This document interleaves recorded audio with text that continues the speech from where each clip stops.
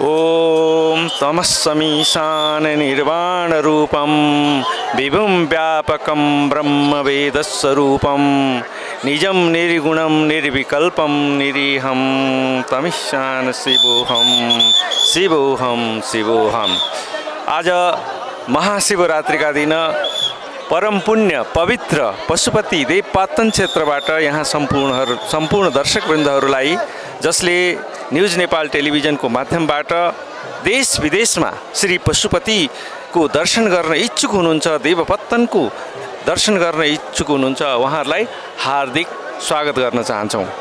आज पवित्र पशुपतिनाथ र पशुपात क्षेत्र दर्शनार्थीहरूको घुइँचोले भरिएको छ।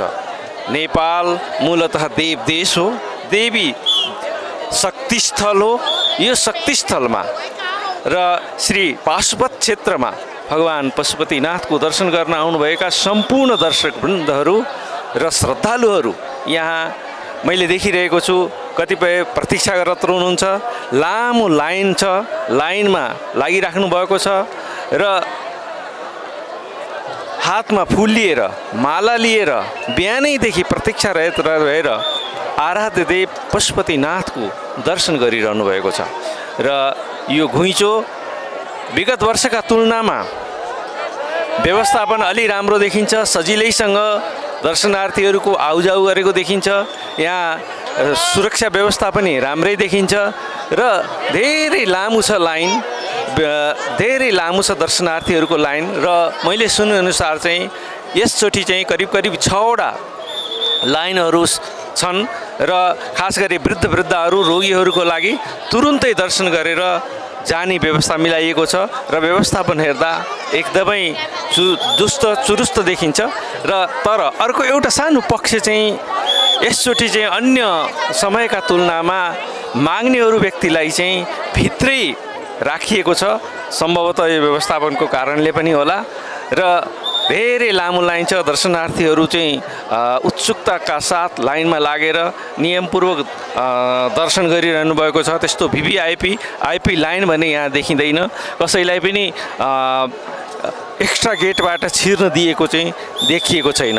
र यहाँ मैले देखिरहेको छु नेपालका र देश विदेशका विभिन्न पत्रकारहरू र टेलिभिजनहरू र युट्युबरहरू बडो उत्सुकता उत्सुकताका साथमा यहाँ फोटो खिचिरहनु भएको छ र पशुपति क्षेत्रको दर्शन दर्शन गराइरहनु भएको छ। र देख्न सक्नुहुन्छ यो लामो लाइन छ। यहाँ लाइनमा चाहिँ मैले देख्न सक्छु तराई मुलका पनि हुनुहुन्छ भारतीय मुलका पनि हुनुहुन्छ त्यसभन्दा विदेश मुलका पनि हुनुहुन्छ र र साथसाथै बडो संयमतापूर्वक र श्रद्धापूर्वक लाइनमा बसेर भगवान् श्री पशुपतिनाथ आराध्य देवको दर्शन गर्दै हुनुहुन्छ। र मैले फेरि दोहोऱ्याउन चाहेँ विगत वर्षको तुलनामा यसबाट किन हो? त्यति श्रद्धालुहरूको घुइँचो भिड देखिँदैन। र खास गरी नेपाल देवदेश र प्रत्येक घर घरमा खास गरी काठमाडौँलाई घर घरमा मन्दिरको सहर भनेर चिनिन्छ। तर विगत वर्षका तुलनामा यसपटक श्रद्धालुहरूको कम आगमनलाई सरकारले सम्बन्धित पक्षले बडो गम्भीरतापूर्वक लिनुपर्ने हुन्छ। नेपाललाई मूलत हिन्दू बौद्ध तीर्थस्थलको रूपमा विकास विकास गर्ने र साथसाथै यहाँ चाहिँ धार्मिक पर्यटनको परिकल्पना गरेको सरकारको लागि र सम्बन्धित पक्षहरूको लागि एउटा यो चुनौतीको विषयको रूपमा लिनुपर्ने हुन्छ। श्रद्धालुहरूको भिड श्रद्धालुहरूको जुन घुइँचो विगत सालहरूमा देखिन्थे त्यस्तो घुइँचो चाहिँ यहाँ कति पनि छैन। र यस विषयमा सम्पूर्ण दर्शकवृन्दहरू बडो सचेत हुनुपर्छ र सचेत भएर अगाडि बढ्नुपर्ने हुन्छ। र यो पशुपतिनाथ क्षेत्रमा पवित्र देवपातन क्षेत्रमा यहाँहरूले देखिरहनु भएको छ भगवान् पशुपतिनाथको मूर्ति र आउनेहरूको भिड छ यस गेट प्रमुख गेटबाट चाहिँ छिर्न दिएको छैन आउनु चाहिँ दिएको छ। र यो राम्रो पक्ष हो व्यवस्थापन चाहिँ पहिलेको भन्दा अलि सुदृढ देखिन्छ सुदृढ देखिन्छ। र पशुपतिनाथमा बडो श्रद्धापूर्वक केही व्यक्तिहरूले देखिरहेको छु मैले दान गरिरहनु भएको छ। र धेरै यहाँ चाहिँ दान प्राप्त गर्नेहरूको पनि लामो लाइन छ। नेपाली परम्पराहरू अनुसार चाहिँ चा धा चामल पैसा फलफुल दिने जुन परम्परा छ त्यो चाहिँ सघन रूपमा निभाइएको देखिन्छ।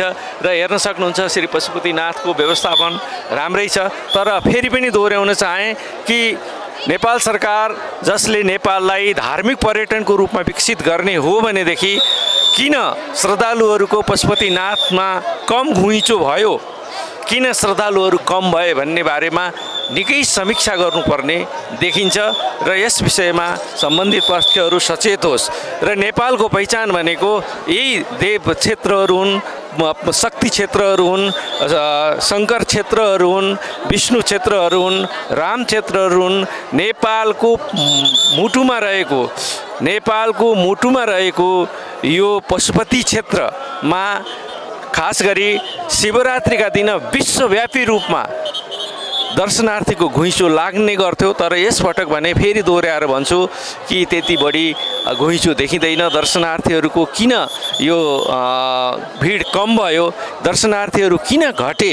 र यसले के धार्मिक पर्यटनमा नेपाललाई यसरी घट्दै गयो भने धार्य पर्यटकको परिकल्पना गरेको नेपाललाई ठुलै धक्का लाग्छ। यस विषयमा हामीले बढी सलाएको हुनुपर्छ बुझ्नुपर्छ सोच्नुपर्छ र पुनर्नीति निर्माणको आवश्यकता छ।